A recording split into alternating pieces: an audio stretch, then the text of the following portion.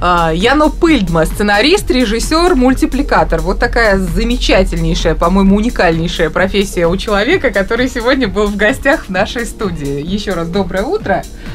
Доброе утро. Яна, мы узнали, что готовится новый фильм про Лотте. Вот сейчас самое время открыть все секреты. Оказывается, там драконы появятся или еще кто-то? Да, да. Но самый главный персонаж, новый персонаж, это маленькая сестра Лотта. Ох, Фильм младшенькая. начинается с этим, что э, э, э, сестра придет в этот мир, и через минут 15 Лотта и сестра пойдут уже в мир. Мгм. Лотта будет познакомить ее, как живут. И она учит весь этот мир. А с другой стороны, это главный сюжет. Это, это время идет.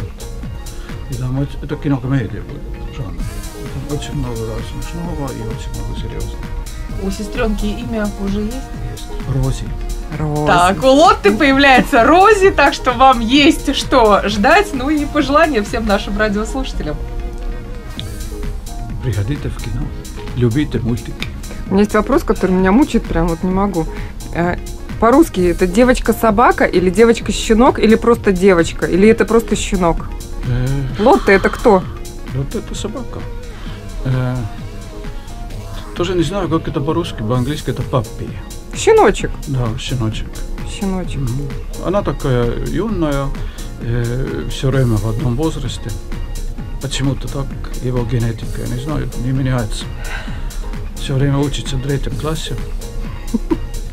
Второгодница. Спасибо вам, Яна. Вы делаете прекрасное дело. Мы наслаждаемся. Спасибо. Спасибо. Спасибо вам тоже.